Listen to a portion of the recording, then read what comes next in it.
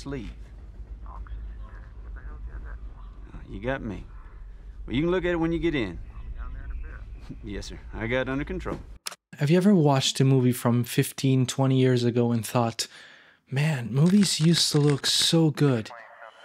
Is it just me getting old, or did films really have something special about them? At the beginning, I thought it was just a personal perception phenomenon, maybe related to a feeling of nostalgia when looking back at the movies of my childhood.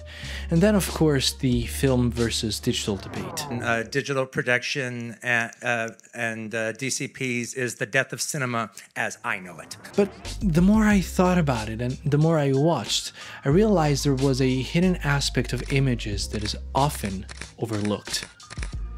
And that is texture. But what exactly is texture? Texture is what tells our senses that something is real because in the real world, nothing is perfectly uniform. It's those little imperfections and variations that make things feel tangible and authentic. Ever since humans started making images, long before movies were even a thing, we were always tied to the materials we had. The surfaces we drew on and the pigments or dyes we used didn't just serve a functional purpose, it was their interaction that gave the image its very essence, its texture. Fast forward to the end of the 19th century, photography was invented, and even though the image was not painted on a surface anymore, but instead captured first on plates and then on film, the textural properties of those mediums were all there for us to see. Those early film stocks were grainy. Maybe a little bit too grainy. But just like we started painting on rough cave walls and switched to smoother canvases later on, it was just a matter of time. In fact, film stocks got cleaner and cleaner, eventually reaching a sweet spot. Clear enough for detail, yet textured enough to feel real.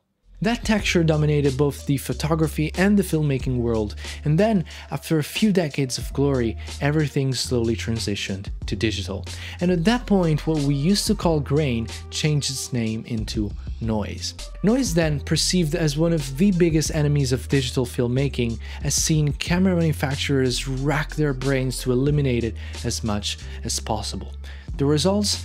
Images got so clean that if you were to place a camera on a tripod and shoot a non-moving subject, you'd hardly be able to tell whether it's a video or a still photo. It's actually a video. What can we say? Mission accomplished, right? Everyone was so happy. Well, not exactly. Camera companies seem to be on this eternal quest for cleanliness. And it, I don't know who who directed that. Who was the kind of higher up god of digital cameras that said we need to make the cleanest image possible. We need to. Like, I don't know who did that. I think we're compromising emotion and feel for digital cleanliness. I think it's a mistake. I think it's a mistake. Greig Fraser shot Dune Part 2 on an IMAX digital camera. Very large sensor, very clean image. But then, in order to give the image that grit and feel of realness, they did what's called a film out. They took that digitally shot material, they recorded onto film, and then scanned it back with the added textural properties of the analog medium. And Greig Fraser is definitely not the only one. There are many directors and cinematographers that stick with film for its textural properties, or at least try to replicate them digitally. But why do filmmakers go out of their way to add grain to their images? Is it just nostalgia and gut feeling, or is there more to it? Well, it seems like there is. It turns out that noise and grain affect how we perceive images in a surprising way. Don't want to get too nerdy, but let me explain. Images have frequencies. We have low frequencies, broad, smooth details, medium frequencies, the general details, and high frequencies, the tiniest details like skin pores and hairs. When noise or grain is present or added, it perceptually softens the high frequency details like skin pores so they become less noticeable. But here's the cool part. It simultaneously makes low and medium frequency areas, the part that we mostly focus on, appear sharper and more resolute even if they're not. It's just a perception thing. If you want to nerd a bit and read the full paper, there's a link in the description. But who's really listening? Well, while the majority of the manufacturers are trying to minimize and sometimes hide the noise of their sensors, ARRI, the Rolls Royce of cinema cameras, did exactly the opposite. They released a feature called Textures in their latest Alexa camera. And reading the white paper about their textures, one thing struck me the most, and it's this bit here. There's always one ARRI texture active in camera. And if you choose the K445 default texture, the camera will capture a cinematic image no matter what the situation in the same way as every other ARRI digital camera you've worked with before.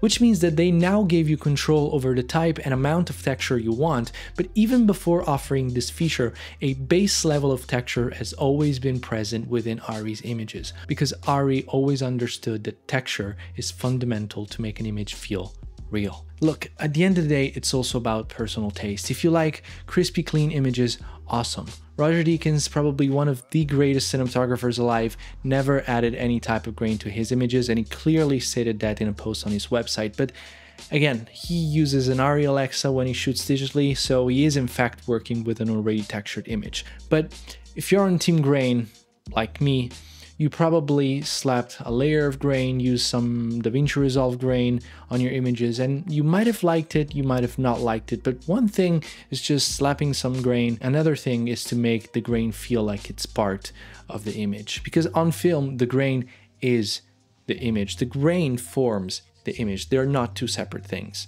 Well, luckily for us, there is an amazing paper on physically accurate grain rendering. I mean, it's really, really good. They actually modeled the silver halide process, so how the grains form, clump and vary depending on exposure. So for example, the grain in the shadows doesn't have the same appearance as the grain in the midtones, which is not the same as the grain in the highlights.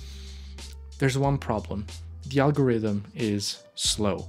I mean, painfully slow. It takes around 10 to 20 seconds to render a single 4K frame on GPUs, so it's clearly not suitable for real time. But what if we could take that algorithm, generate some grain layers based on the luminance range, and sure, it would take a long time.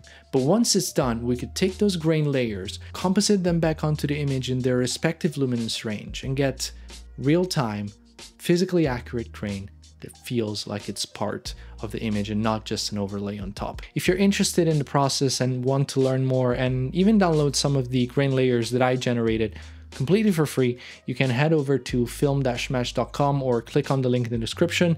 I have a full blog post over there with all this nerdy stuff, so I hope to see you there. In the meantime, please like, share, and subscribe, and until next time,